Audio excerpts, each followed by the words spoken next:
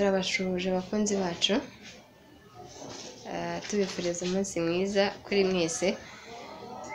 Uyu ni wa mwanya hari ibiganiro byacu tubagezaho umunsi ku munsi ibiganiro by'ubuzima uyu munsi turifuza kubaganiriza ku ndwara yugarije abantu benshi.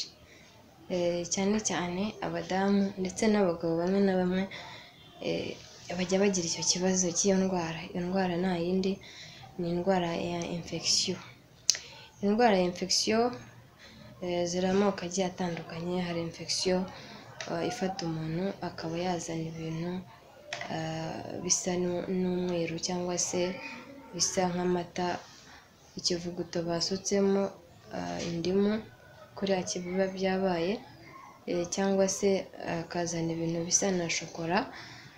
Cyangwa se akazana ibindi bintu bimeze bicikaguritse ukuntu indwara ya infection hari ukuntu ndavuga infection urinaire hari ukuntu umuntu ayirwara akagira igihe yishima n'aho yaba ari hose akumva yuko agomba kwishima ntatinye yuko ari mu muhanda ntatinye yuko abantu bamureba bitewe n'uburibwe aba afite arishima kuko aba ababara cyane. Ni indwara mbi ni indwara ibangamira uwifite ni indwara ushobora kujya kunyara ukanyara ibintu nawe wabibona ukagira ubwoba. Muri make ni indwara kenshi na kenshi iterwa no gukora imibonano mpuzabitsina idakingiye cyangwa se ku muntu ujya mu matuwarete amwe n'amwe agiye atandukanye iyo ndwara ushobora kuyihakura cyangwa se ku muntu ukoresha isume y'undi muntu uwo muntu ashobora kuba arwaye infection yayihanaguje ugasanga nawe ugize ubwo burwayi nawe uyihanaguje. Turakwibutsa yuko iyi ndwara ishobora gutuma n'imyanya ndangagitsina yawe ishobora gucika ni indwara mbi iyo utayivuje ikugiraho ingaruka ingaruka nyinshi. Hari ingaruka zo kuba wabura ububobere muri sex yawe hari ingaruka zo kwishima hari ingaruka zo gushyuha hari ingaruka zo kuba wakora imibonano mpuzabitsina ukababara bitewe n'ubwo burwayi ufite ndetse no kumva yuko udashobora gukora iyo mibonano mpuzabitsina urumva uramutse wubatse byaba ari ikibazo. Ikindi kandi no ku mugabo iyo agiye kunyara cyangwa se umusore byenda kumera aranyara agataka akababara rimwe na rimwe hari n'ababoroga bitewe n'ububabare baba bafite. Ubwo rero urumva utivuje yuko ari ikibazo. Wambaza se hari umuti uhari? Mpari kugira ngo nkushakire imiti yagufasha nkubwire n'ibyo wakoresha by'ibimera byakugirira umumaro.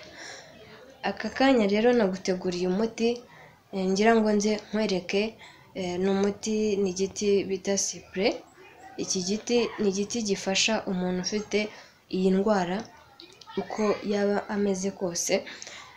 Icya mbere na mbere niba uyirwaye nakubwiye ibimenyetso hari ukubabara hari ukwishima hari gukora imibonano ukumva urokerwa hari hari kugenda nyine utagataga bitewe n'uburibwe ufite hari gusiba mu kazi ibyo byose ni bimwe mu bimenyetso byayo.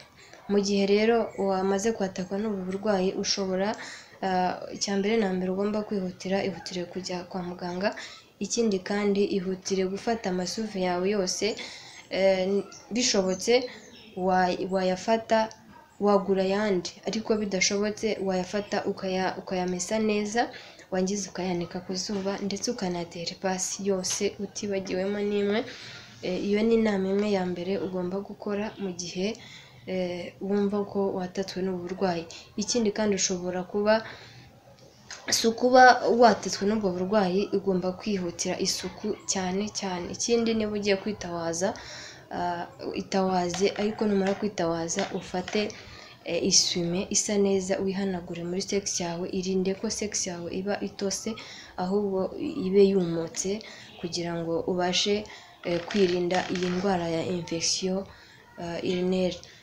Ikindi mu gihe iyi ndwara yakwatatse ihutire kumenyesha cyangwa se kugana abantu babashe kuba bagufasha cyangwa umuganga cyangwa se umpamagare cyane ko nimero yanjye iba iri hasi kuri sikirini urayibona eh, ufite icyo kibazo wampamagara nkaba nagufasha ndetse nkaba nakugira inama.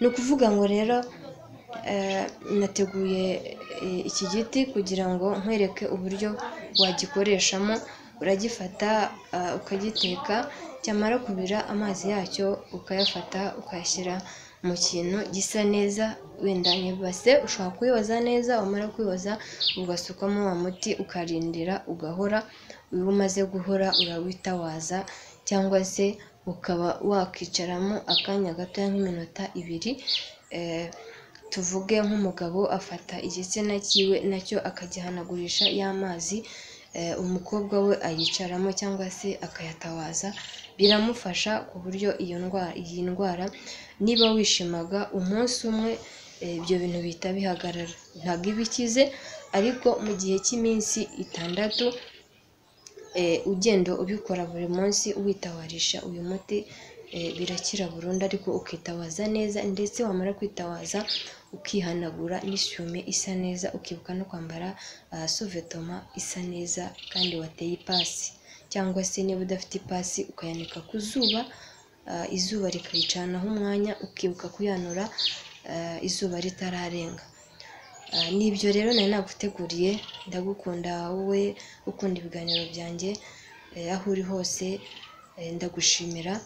Ah, nkuhaye ikaze no ku bindi bizakurikiraho imana ikurinde rero nawe utaha cawe